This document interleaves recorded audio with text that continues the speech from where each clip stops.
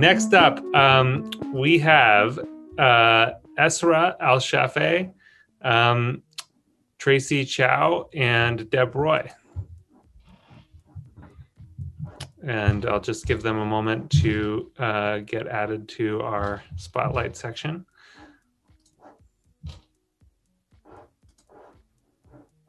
Hey, Tracy. Uh, let's grab Esra. We might need you to do your um, camera. There we go. Great. Um, and folks know Esra's, uh, you know, needs to appear uh, pseudo, whatever the image form of pseudonymously is. Um, so uh, great. Welcome. Um, three really brilliant uh, different projects. And um, I'd love to hear first from Esra on um, what you're up to for a couple minutes. Sure, thank you. Actually, give us one minute because let's get the slides up so that uh, folks can see that as well. Great. Okay. So Okay, folks can see. Um, it may be a little difficult, but yeah, there we go. Great. Off to the races. Go for it. Thank you, everyone. Um, really thrilled to be here um, describing myself. Um, I've always been represented in the form of a simple avatar, um, physically anonymous on the web due to the sensitive nature of my work, considering the risks involved.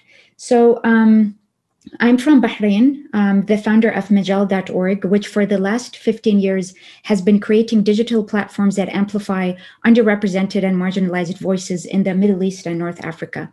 These platforms include Mideast Tunes, which is a web and mobile app for underground musicians in the region who use music as a tool for social justice advocacy. Um, another one is migrantrights.org, which is a platform for interactive campaigning on the plight of migrant workers in the Gulf region, a segment of the population that is literally enslaved to this day through um, abusive systems and policies that uh, enable it to thrive for the sake of economic gains and power. Um, and then also ahwaa.org. Ahwaa is the uh, Arabic word for passions. And it's a platform for the Arab queer community that uses gaming mechanics um, to facilitate high quality interactions. So the aim was to reduce the, um, the isolation that comes from extreme anxiety and fear, being a part of a community that is essentially criminalized um, by our governments and our societies. And um, so we use a point system for users to escalate and access various features on the site to help overcome the major obstacle of trolling um, so that users feel a sense of protection and at the same time have incentives to en- engage more um, in, a, in a meaningful way on the platform. Thank you. Excited to hear more about about all of this. Um, all right, uh, Tracy, I believe you're up next. Great. Hi, everyone. I'm Tracy. Um, I'm a software engineer, diversity and inclusion act, uh, activist, and founder and CEO of Block Party. So, Block Party is a consumer anti harassment service that aims to give people back control of their online experience. Um, our beta product lets people clean up their Twitter experience by auto muting users based on configurable filters. Um, so, the way it works, as you can see from the illustration graphic, um, it runs continuously in the background to monitor mentions and replies on Twitter and anything that doesn't pass your filters is hidden from Twitter, it's muted. And so using Twitter itself is less noisy and traumatic, but everything that's hidden is also put into a folder on Block Party for later review if necessary. Um, although the immediate pain point we're trying to solve is abuse and harassment, uh, the broader mission is user safety and control. And so we're trying to let people choose what they want to see and engage with, and also protect their mental health while acknowledging other important user needs too, like being able to review what's been filtered um, for things that are actually okay or even good, and also for the bad things like real threats that need to be considered. Um, and in terms of product philosophy, Block Party is very much centered on the user and that experience as someone who may be experiencing harassment.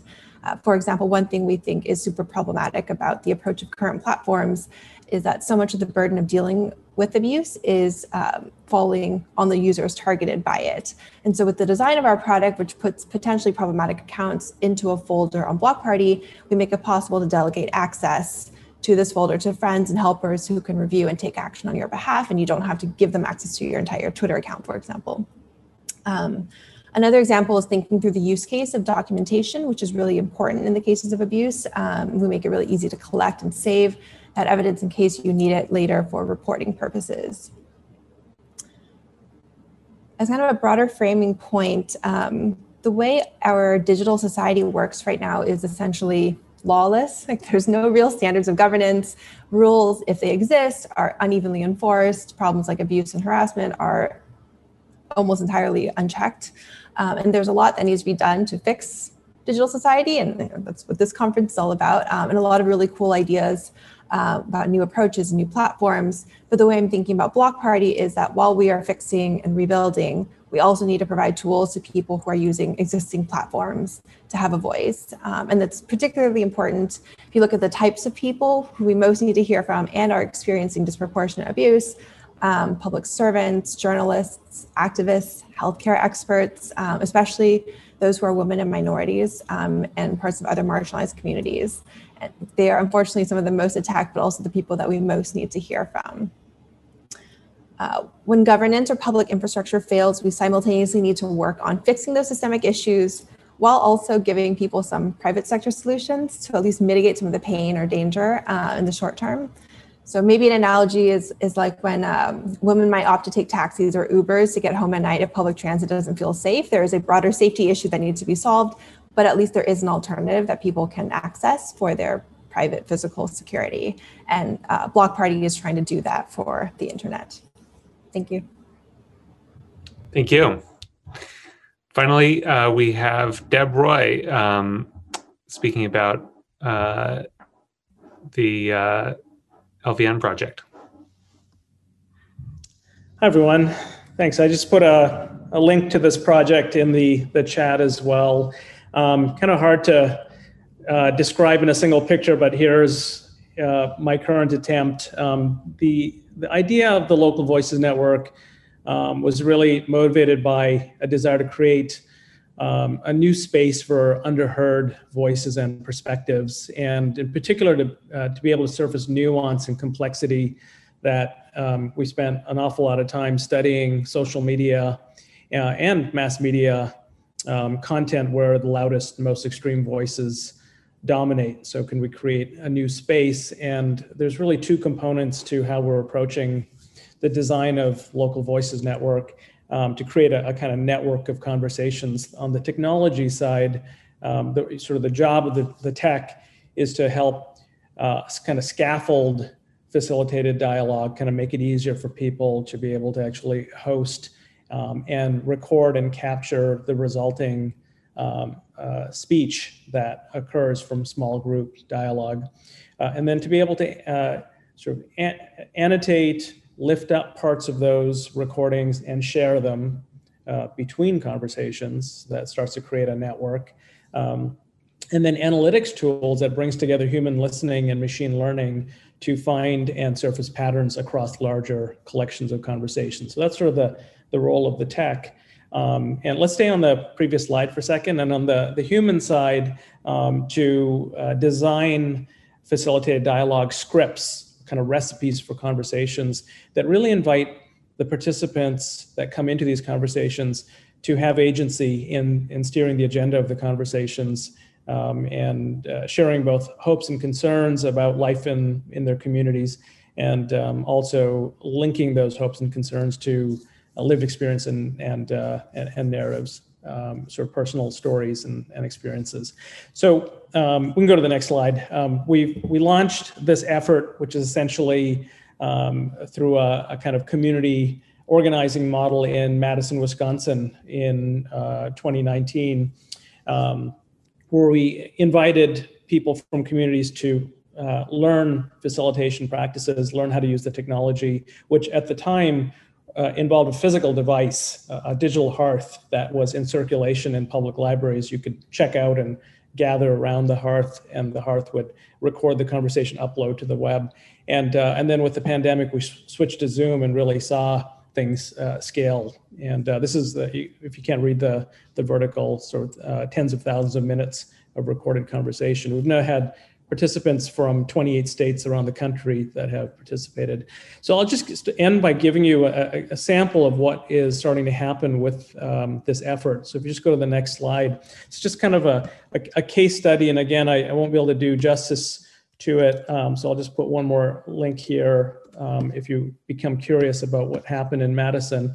Um, there was a, um, under a kind of racially charged uh, situation, the previous police chief was forced out um, uh, of his uh, role. And then the Madison Police and Fire Commission announced that they wanted to run the search for the next police chief in a new way and bring the community into the actual selection process. They hosted a series of conversations using the LVN platform. And, um, and then our team uh, combined that, the resulting uh, conversations that they hosted with an archive of hundreds of people at this point who had participated in small dialogues because we launched in Madison in 2019 and used this kind of machine learning plus human listening um, process to synthesize patterns of what we heard relating to community safety and policing. And those are translated into a set of interview questions, several of which were used in the final round of interviews. And the, the um, final four candidate interviews, um, re- responding to those essentially questions sourced from the community were released publicly and used as a basis for selecting the new police chief, who was just hired a couple of weeks ago. So we, we see this as an example of a kind of uh, civic infrastructure that we think is scalable, both the human dimension and the, the tech dimension to create uh, sort of a, a, new way to bring um, underheard voices into, in this point, this really crucial uh, decision-making process. So I'll end there and I'm gonna uh, just share one last link in the chat. Um, this, this work was done between Cortico, which is a nonprofit that grew out of uh, MIT. Um, and just earlier uh, this morning, we announced sort of the, the research partner to this um, is the MIT. MIT announced a new Center for Constructive Communication that is working closely uh, with Cortico on advancing the analytics uh, side of this work, but um, some cool stuff happening at MIT related to this that uh, I wanted to plug while I had the floor. Thank you. Thank you all. Um, so I want to I want to toss that same question out first, which is um, for each of you, like what what motivated your um, taking this project on? What was the um, what was the driving question, need, circumstance that that led you to to this? So my, I came to be working on Block Party um, with a few different things coming together. One is I um, long time I'm a long time Silicon Valley person. I was an engineer at a number of the different um, Valley companies at Google, at Facebook. Um, I was at Quora very early and at Pinterest very early. Um, so as a software engineer at these companies, got to see how they were getting built uh, from the ground up um, got to participate in a lot of the really core um, product decisions around what content gets distributed, um, what moderation tools look like. In fact, I built some of the earliest moderation tools for Quora because I was already getting harassed. Um, even when I just first started and we only had a couple thousand users. And so started building these tools out of personal need. Um, simultaneous to this work as an engineer, I've also done quite a bit around diversity and inclusion activism, which has come out of my experiences being um, a woman in in tech and